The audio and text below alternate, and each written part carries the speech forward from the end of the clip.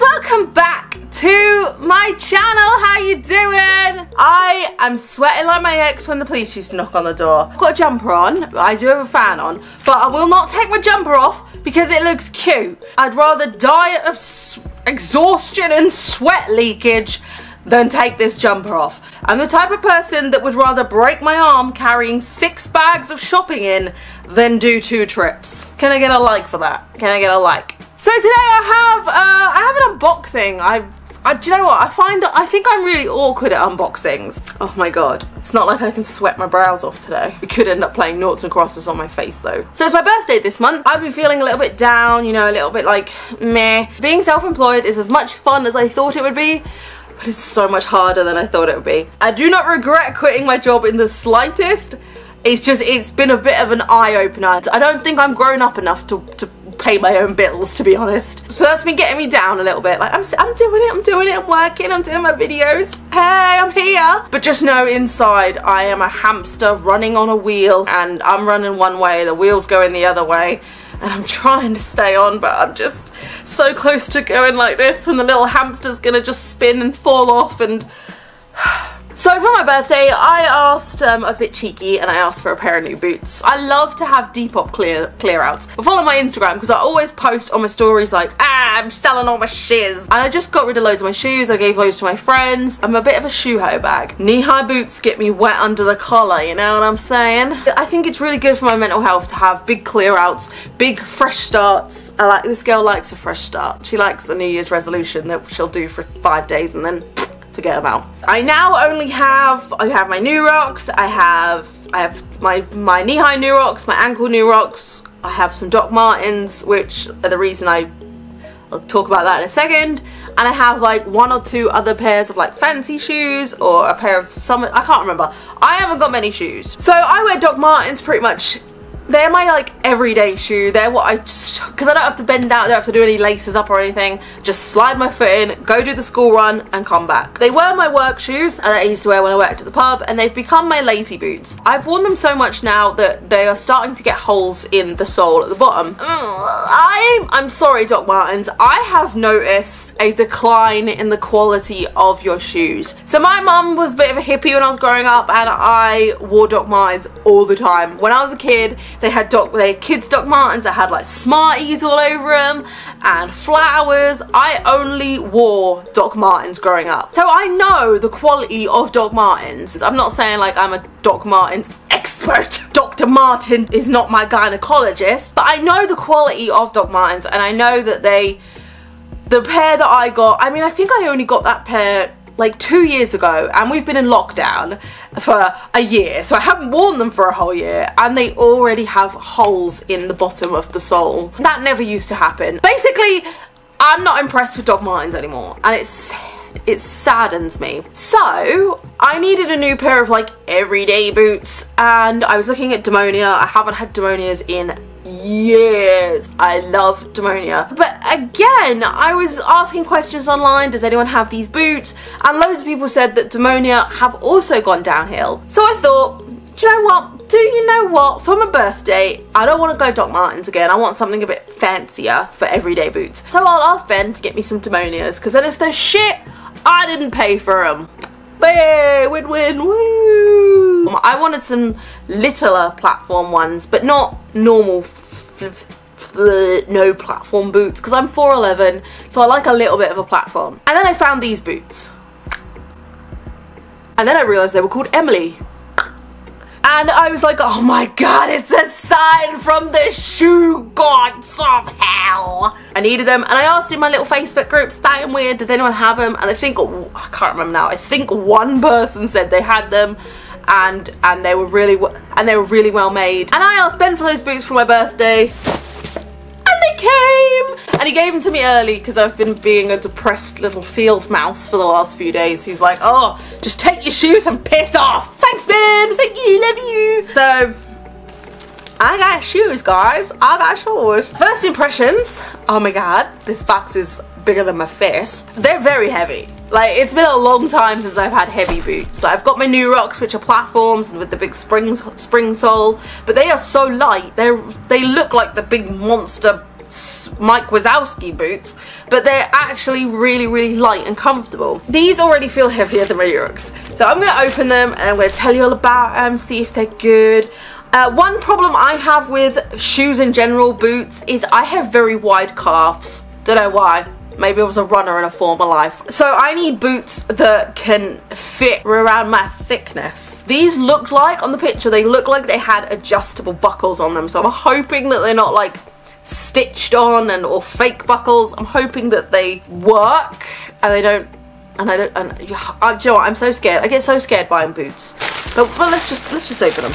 Ugh. Do you know what? I'm I, I'm I'm getting a new. I was gonna make a Chris Motionless joke there about ripping off his pants, but I've got a slightly new celebrity crush now, who ironically looks exactly like Chris Motionless. Now it's Rhea Ripley. Now I'm like, oh my god, it's Chris Motionless with titties. Hi. okay, oh, I'm attacked by, oh, attacked by a broken, a broken elastic band. It's not a good start. I think he ordered these from Attitude Clothing and I don't know how much they were, but Demonias are expensive. Oh, oh, I can tell you how much they are because it's got the paper. Emily heart buckle boots. Emily does heart buckle boots. She does. They were, oh my goodness, with shipping, they were 118 pounds and 98 little pennies. 120 quid basically. That's a lot. Ben must really love me. I mean, who wouldn't want this as a wife, really? Come on. I don't cook, I don't clean, but let me tell you how I got this ring. I just bent over and showed my asshole and then, hey, we were married. Oh, they are so heavy. That is really heavy. So this is what the box looks like. I love this box actually. I haven't had Demonias and so I think the last pair of Demonias I got came in like a plain black box with a red lid. These have got, I don't want to open it, I'm scared. These have got um, like safety pin pattern and rivets. Lift my lid, Rhea, lift my lid. Ah. Ooh, it smells like shoes. Oh, okay. So the lid is off and they're just in the packaging.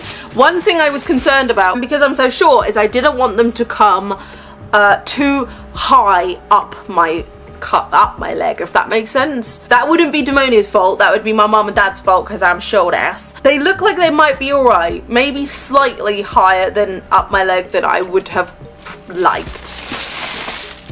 Oh, that's not, no, that is heavy. That's heavier than I would usually go for for everyday shoes. Bit of a waste of plastic here, Demonia, but I'll let you off.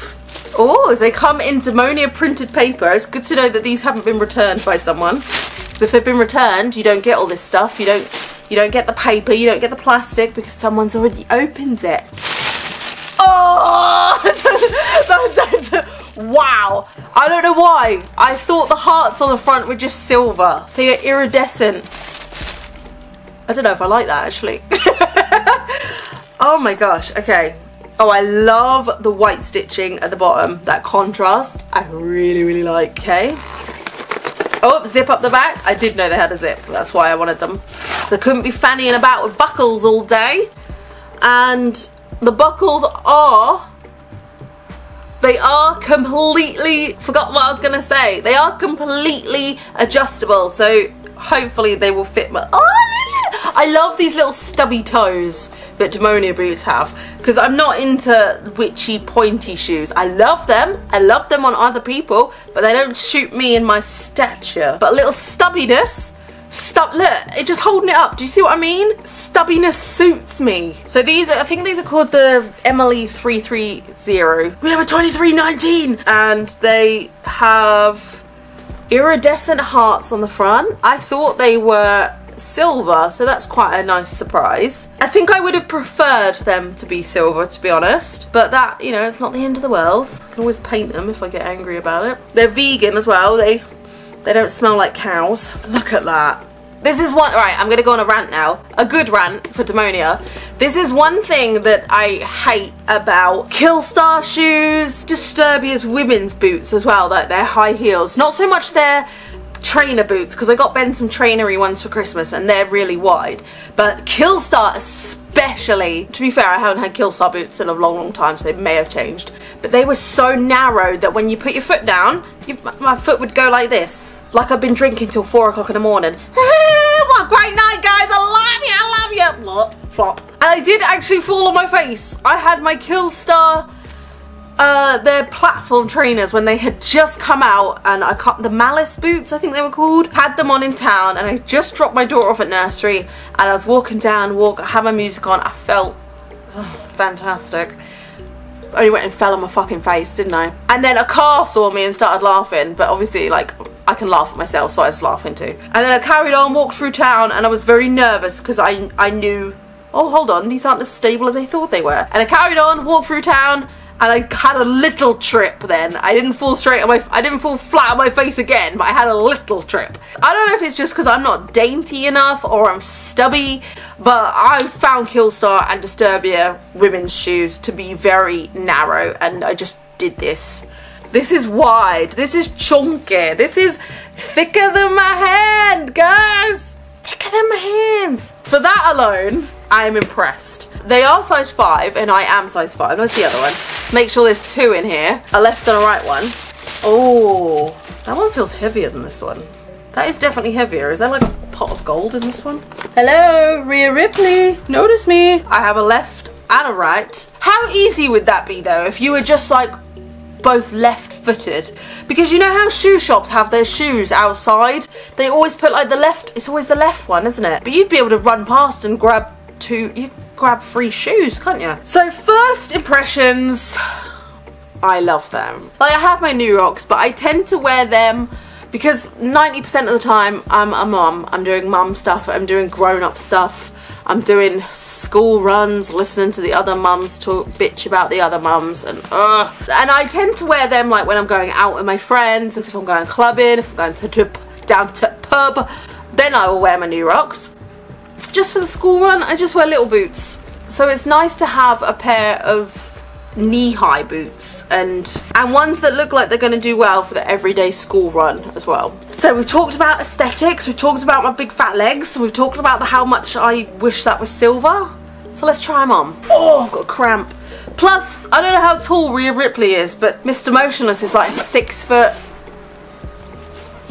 I don't know. I know he's over a foot taller than me. So when we have our first kiss, I'm going to need like big platforms because it is going to be me going uh, I don't have any socks on, but luckily I am next to my sock drawer. Pumpkin socks, because, you know, aesthetics. I would show you my feet, but got paid for that content. Got all, like, ferret hair stuck to my legs now. Oh, no, that's my hair! I need to shave my legs. Pumpkin sock on! Oh my god, that's so small. Why is my foot not going in? My foot's not even going through the back. What? My feet aren't that gigantorous. Never mind. Take two. Oh, oh my god, that's really hard. That's so, that's that's quite uncomfortable. like just, I'm used to squidgy insoles of like Doc Martens or New Rocks. That is really hard. Zip up. I'm gonna have to do these buckles because my um me me me legs are above average. Three hours later. Oh my gosh, okay. Let me lower my camera so you can see. These fit really well, like really, really, really well. And they don't go as far up my leg, like as I thought they were going to. I thought they were going to come to about here. They're there, oh my god. Orgasm intensifies. I'm gonna pop the other one on. I'll have a little walk around and then we'll see how, how well, how comfy they really are.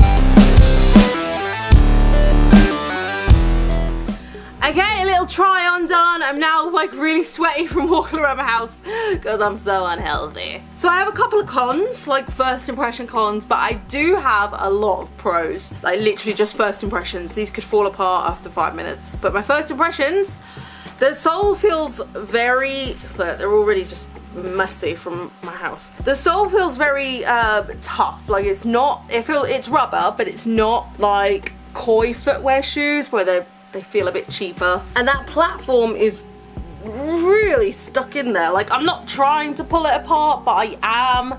Because if they're faulty, I want to know now, before I wear these to Bloodstock, and lose my shoes in the mud. But that feels like that is on there. I touched upon Bloodstock just there and I can't wait to touch upon Bloodstock properly because I've not left the house in a year. They feel quite hard inside like I would definitely need a need some insoles, some Scholl foot insoles in there just to make them squidgier because that does like there is the slightest squidge. Look, now my fan's gonna blow my hair and I'm gonna be like in a shampoo advert because you're worth it. I'm really not, love. The insole is very, like, it's the tiniest, tiniest bit of squidge, but I would definitely need that. Uh, you'll definitely need insoles or something to be able to wear these all the freaking time. Um, but that's fine, you can get insoles for like a fiver off eBay, that's where I usually get mine from, because they're like 20 quid in the shops. Just stay still, mate. Your job is to blow. I know it ain't that hard.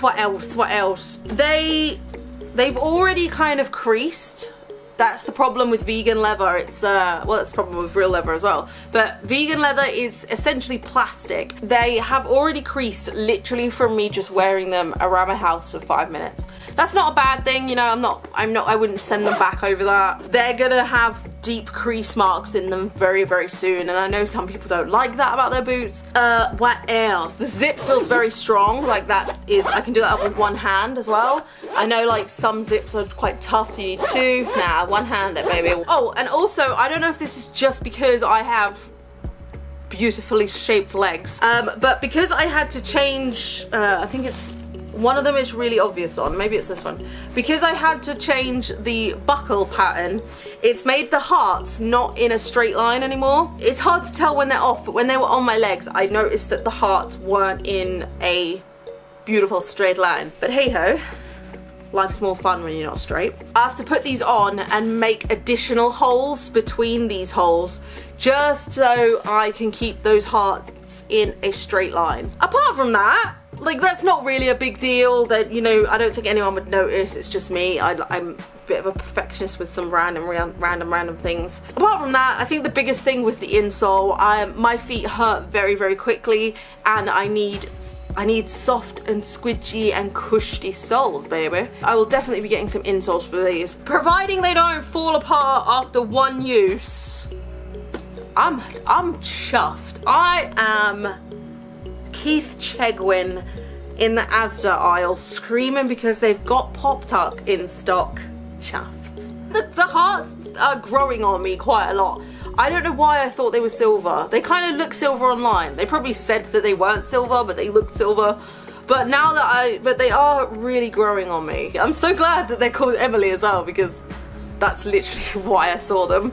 I, I, I, I don't think I'd have looked at them twice if they were called like the Sandra boots or the Stacy, the Stacy platforms. It's because they were Emily. I was like, ooh, let me click on you. I'm, I'm gonna bear in mind that I have heard some things about Demonia lately that they have, that they do fall apart and that, like I said, I didn't pay for these, so. But they feel very they feel good. They feel, I don't know if they feel 120 pound good, but they feel good. This bit kind of feels a bit cheap now that I'm talking about it.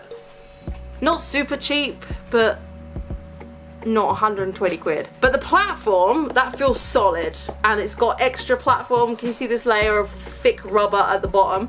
So when this layer when this layer wears away it's easier to get them fixed at a cobbler because it won't be in this platform so the rubber bit will wear away first and you can easily get that fixed without damaging the actual platform. All in all, I'd say, oh, what should we give you out of 10?